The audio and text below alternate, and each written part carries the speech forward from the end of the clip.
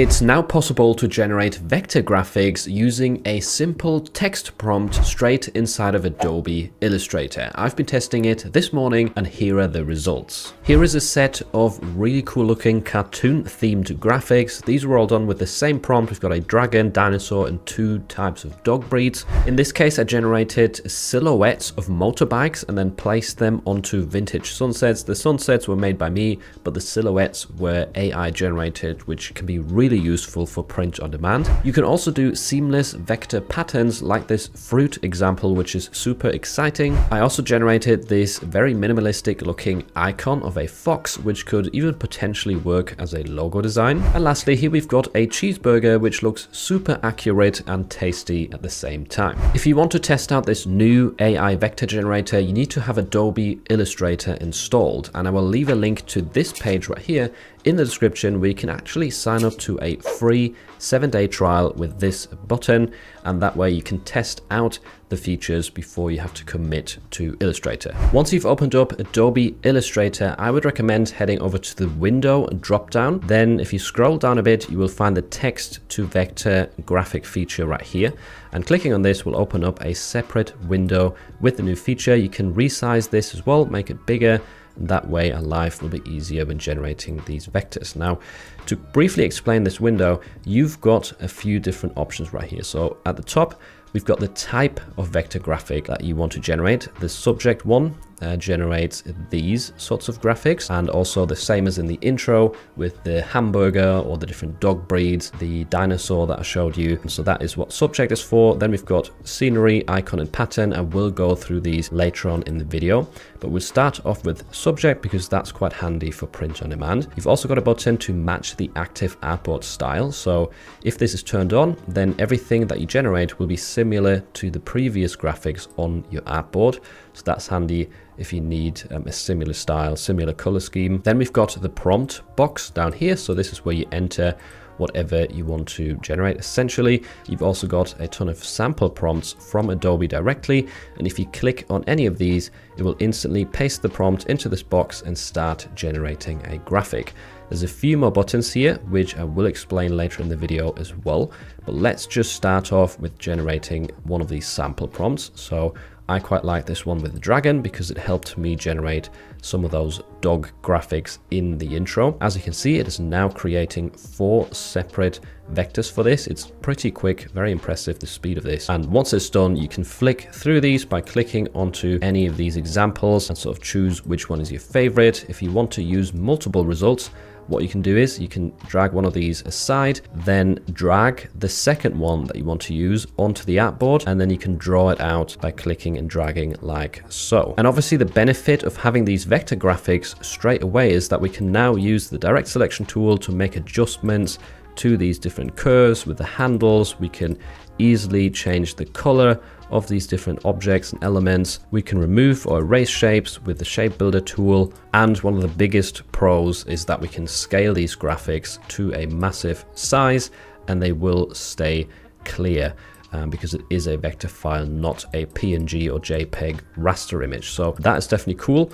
And now if you wanted to adjust or sort of use this sample prompt for your own niches or your own topics that you want to design for, you can just head back to this prompt bar right here. Let's say we want to take out dragon blowing fire and we can put cute baby pug as an example. I'll leave the rest of the prompt the same because this is what Adobe has given us.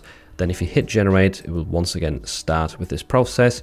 Um, you can also hit cancel sort of midway through, by the way. I've tried that a few times and it still gives you the result up to that point and oftentimes it is a bit more minimalistic um, when you stop it halfway through. But here we go, those are some interesting pug graphics, pretty neat and definitely useful um, for POD. Another thing you can do is, let's say you want to match the style of this graphic over here for a new prompt, then you can just select this option over here, the style picker, then click on the graphic that you want to match. Now it will say your selected style has been added to the style picker and if we make a change to this prompt now, so let's say cute baby Labrador, leave the rest of the prompt the same and hit generate, it should now try its best to copy this same style as we've got with the pug. There we go. It's definitely taking that into consideration. As you can see, we've got the same sort of white stroke outline. We've got uh, this circle at the bottom for the shadow and some of the other ones also look fairly similar, which is super handy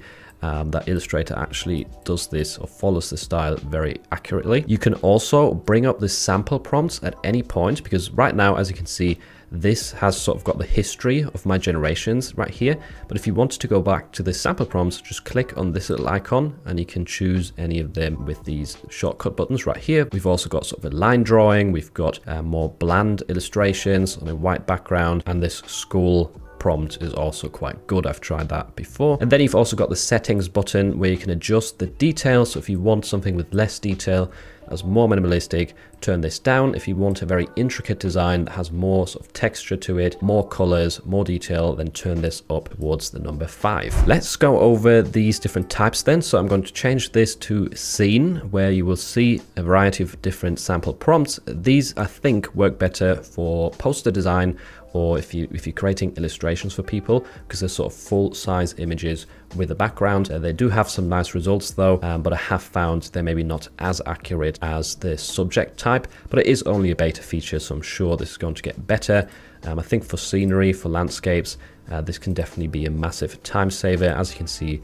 um, these results are pretty neat. Then we've got icon next. As you would expect, this is more of a minimalistic style. I could see these working as logos. We've got a sort of fox right here, geometric. We've got a butterfly, very colorful. This sunflower makes me think of the groovy types of t-shirt designs that we can see selling very well on Amazon. Um, so maybe you can create little objects to decorate your designs with as well. Let's actually try this and type in the same prompt. So geometric sunflower and maybe I'll add with a smiley face. Turn off the match active artboard style because we don't want to actually match this scenery graphic right here and then hit generate. And also it tells you right here that you can write a prompt in a hundred different languages, which is super handy for anyone who's, you know, not very good at English and wants to maybe type it in in their own native language. Now, it's not taking the smiley face into uh, the graphic right here. These are definitely some cool looking minimalistic um, icons for sunflowers. And I could still see these working on a postcard, on a t-shirt design, a sticker, or many other applications. And lastly, let's head to the pattern section. This is also super exciting because these patterns are not just a vector format, but they're also seamless. So I'm in order to use these, let's draw out a rectangle right here so we can draw, cover the entire artboard. And uh, let's just click on one of the sample prompts.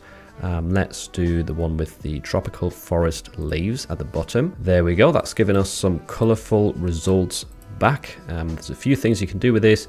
Can resize this like so, but you could also um, click into the scale tool over here. You can uh, click, double click onto it to bring up some extra options. If we turn off the transform objects option down here and then change uh, the uniform scale. So if you turn this down, as you can see, it's going to zoom out the pattern, which means you will have more and more leaves. So if you have a massive object to cover in print on demand, then zooming this pattern out might be useful. You can also apply the pattern to custom shapes. So whether it is one of these geometric ones like a star, or if you have like a custom shape of maybe an animal or an item of food, a flag, you can always apply these patterns to your shapes like this. You can also click more options to add the pattern to your swatches um, over in the swatches panel. And one last prompt that I wanted to show you is this one right here, black minimalistic silhouette of a motorbike. So you could use this for many different objects and these silhouettes can be quite handy for print on demand as a design element,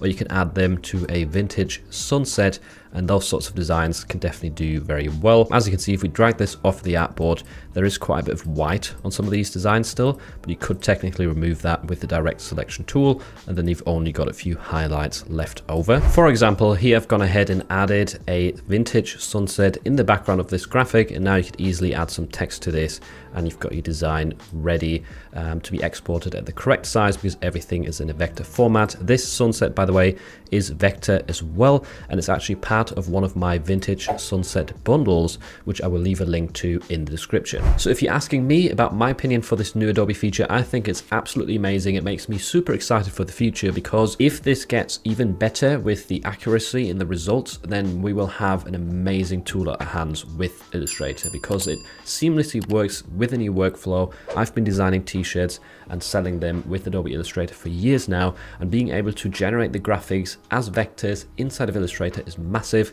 You don't have to mess around with vectorizers, with background removers, you've got everything right there ready.